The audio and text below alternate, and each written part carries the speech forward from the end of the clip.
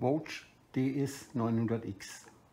Das nachfolgende Video beschreibt, wie man den TPS Throttle Position Sensor oder Drosselklappensensor resettet bzw.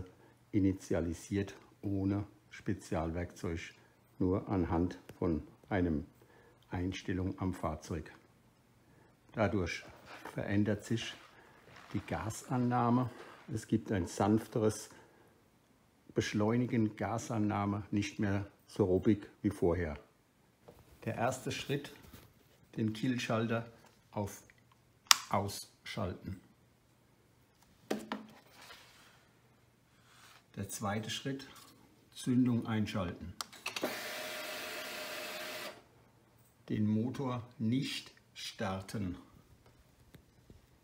Sportmodus aktivieren Kielschalter auf On legen, Motor nicht starten. Den Gasdrehgriff in einem Bereich von ca. 10 Sekunden langsam auf Vollgas drehen.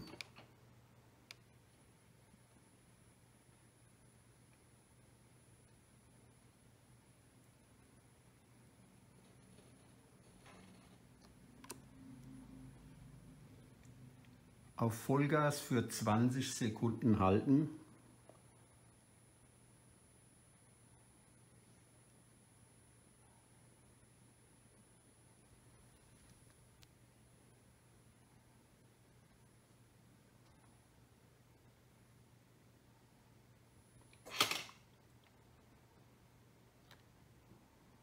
Gasdrehgriff 10 Sekunden langsam wieder zurückdrehen.